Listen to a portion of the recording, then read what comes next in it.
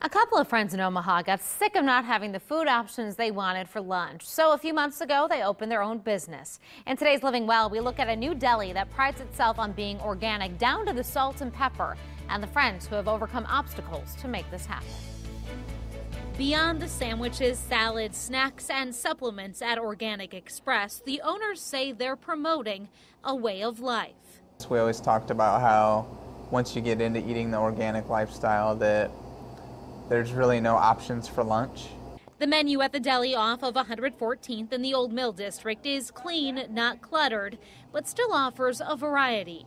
I wanted to provide something that was easy, was quick, um, was something that was delicious for everybody, that was kind of a well-rounded but simple menu that people would just pop in, you know, get what they wanted, not have to feel guilty about it. Nicole Bruckner went to culinary school. She focuses on the food.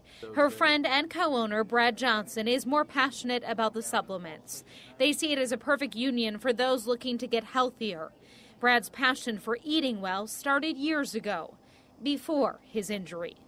Kind of being dumb one day and uh, dove into an above ground pool he believes his commitment to healthy eating got stronger during his recovery and possibly even helped him.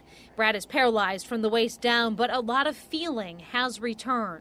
The progression has been amazing. I mean, seeing him from when he was in the ICU and then making all his recoveries and developments when he was at Madonna um, compared to now, I mean, it's just, it's crazy.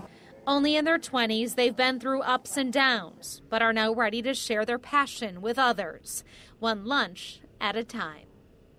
And if you'd like to learn more about Organic Express, head to KMTV.com. We'll be right back.